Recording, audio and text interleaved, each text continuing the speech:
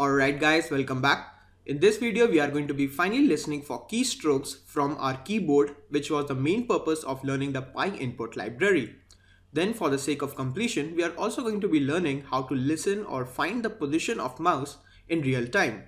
So without wasting any time, let's get started.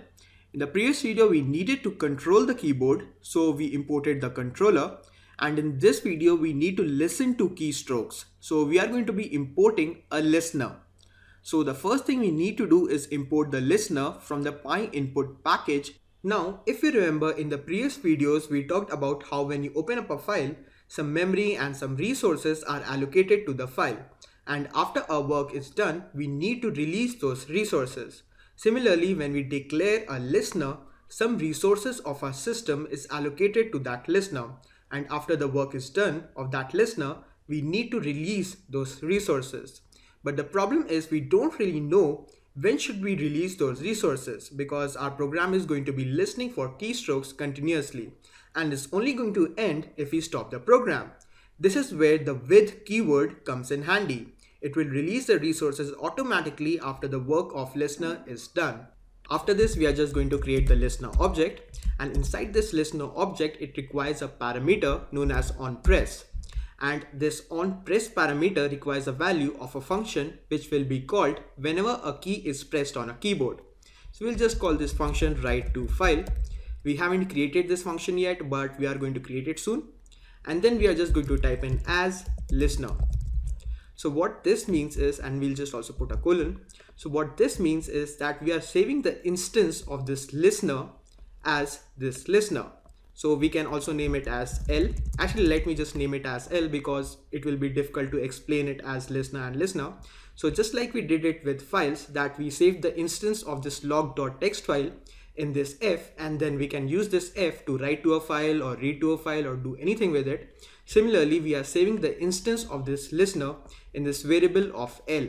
And after this, we can write something like L.join and this will make sure that our keystrokes are joined together. Now let's go over this listener once more so that we can understand properly what each line and each word of this listener is doing. So first we use the with keyword to make sure that the resources are released after the work of listener is done. Then we created the listener object and we use the parameter of on press. Now what this is going to do is that whenever a key is pressed on a keyboard, it is going to call this on press area and then this on press is going to call this write to file function which we haven't created yet. But what this function is going to do is that it's going to send a key to this function that is write to file. And then we can use that key to store that in a file. So for example let's say you pressed a key let's say a on a keyboard then it's going to call this function write to file and it is going to send the letter a to this function of write to file and then using this open log.txt and then writing it to a file, we can save the letter A to that file. Then we save the instance of this listener in the variable L. Now you will understand the function of this join when we actually run the first version of our keylogger.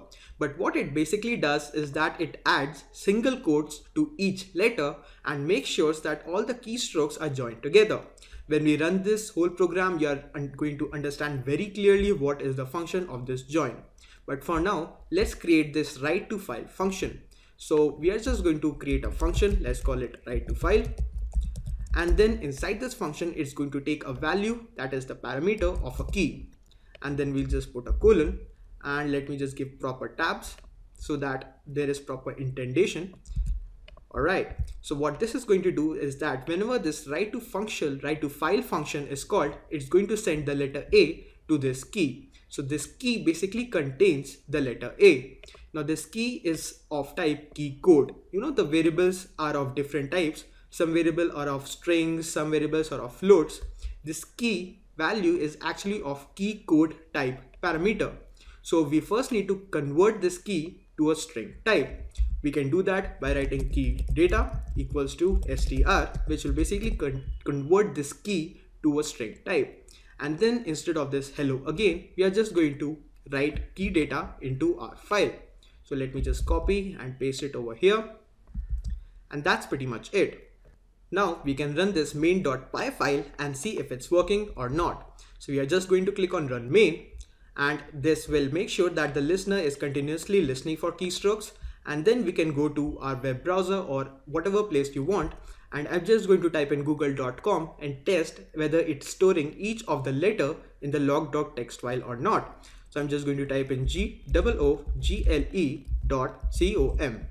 So let's go back to our keylogger and open this log.txt file and as you can see it has saved the letter google.com in a log.txt file. So we are now sure that the first version of our keylogger is working. Now obviously we don't want these single quotes to appear in our keylogger so we are going to make sure that we remove them first before saving them to this log.txt file but that we are going to do in the next video.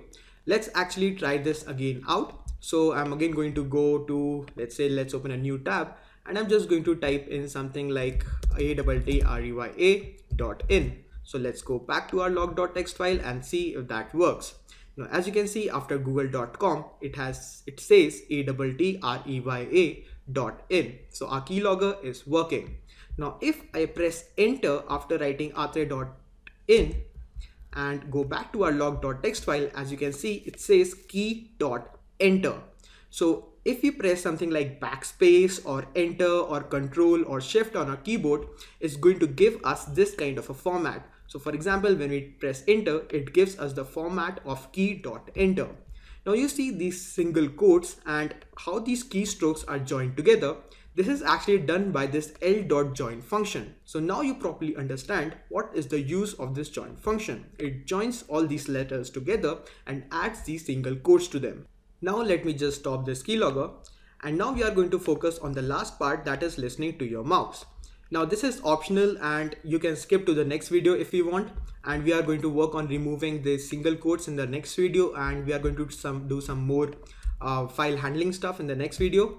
But if you want to learn how to listen to your mouse position, you can continue with this video. Just for the sake of completion of this Pi input library, I also want to teach you guys how to listen to a mouse. So if you don't want to like learn this, you can just skip this video and go to the next video. Now, because I didn't want to disturb this control.py and this main.py file, I've created this new listen.py file and inside this we are going to learn how to see the position, the real-time position of a mouse. So the first thing we are going to do is just import the pi input package and pi input.mouse and then from this we are just going to import the listener just like we did with our keyboard and literally we have to do the same thing. We just we can just copy this listener and we can paste it over here. Now instead of this on press what we have to do we have to write on move. So we can just write on then underscore move. And what this on move is going to do is that whenever we move our mouse it's going to call this write to file function. So let's actually create this write to file function by typing in def then write to file and instead of the key what this function of onMove does is that it transfers the value of x comma y. That is x is basically how much distance it has covered from left to right and the y is how much distance it has covered from top to bottom. So it's going to send both of these values to this write to file function in the form of x comma y. Now what we are going to do is that we are just going to print this on the screen. We are not going to save it on our file just because we don't need to. And we are just going to print this out and inside this I'm just going to print location. Actually let's make it position. Position of current mouse. And then inside the curly brackets I'm going to put in 0 and after that I'm going to format it in the form of x comma y. So what this does is that it formats it in the proper format of x comma y. And instead of this 0 this format is three plates You'll understand this properly after we run this program. So actually let's run this listen.py file by right clicking on it and clicking on run.listen. And as you can see, whenever we move our mouse, the value of x comma y changes. So it says position of current mouse, send 13411 and let's stop this now. So what this is doing is that whenever our mouse is moved, it's going to this on move part and then it's going to this write to file actually it's not write to file but I've just copied and pasted it. You can name the function whatever you want but it's going to call this write to file function and it's going to transfer the values of x comma y of the position of this mouse to this function. And then we are formatting in, in the format of these bracket kind of format and then this x comma y are being replaced with the 0 and that is how you are going to listen to the position of the mouse in real time. So guys, this is pretty much it for this video. In the next video, we are going to work with a log.txt file and we are going to see how we can remove these single quotes and we are going to see how we can handle these key codes. So I'll see you in the next video.